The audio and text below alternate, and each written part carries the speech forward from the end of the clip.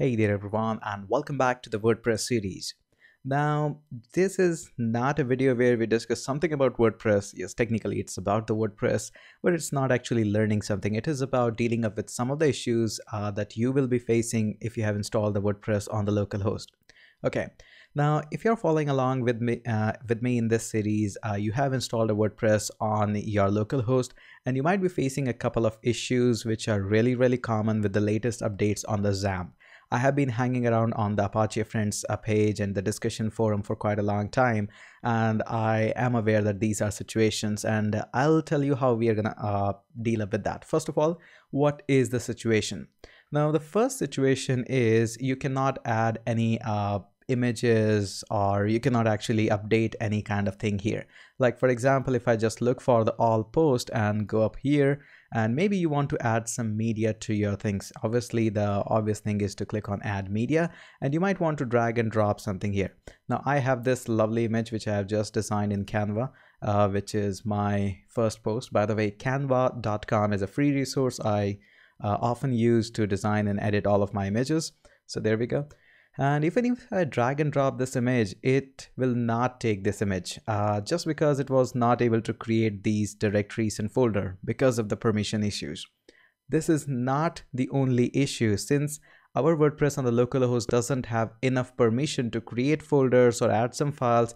It will also not be able to create the folders like test and upgrade and in resultant after this when you'll go on to the dashboard and will try to hit the update and even if you'll try to update uh, from a WordPress version X to Y it is going to give you a problem. For example if I just hit there uh, and update it is uh, first of all going to ask you for the host name and the password and all these things. And even if you try to proceed further uh, somehow you have figured out the username and password it will not allow you uh, to create a folder name a test and uh, the name temp t-e-m-p sorry tmp temp there and a folder named as upgrade. Without this, your theme or your plugin cannot be upgraded.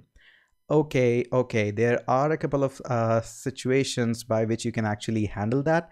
And let me just show you that even if you have launched your LAMP here, and let's just say you are technical geeky into the Linux world, you have went into the etc and you have opened up this ProFTPD config file and let me open that in up uh, in my uh, Sublime text there, open that up and there we go. If I open that up, uh, you'll see there are options here where from which you can actually do that. But again, uh, why am I telling all of you this?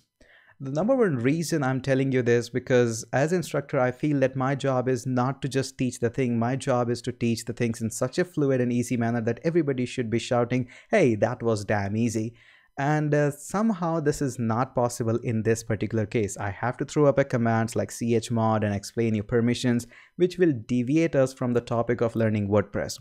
So as a solution, what I present to you here is just ignore all of these updates and adding up the things into the WordPress on a local host website as of now and later on we will be moving on to a real actual domain where we'll be learning how to install these WordPress, how to add images and how to update all of these things in plugins. Very soon we'll be moving up there. And these things are not even an issue onto a real web server.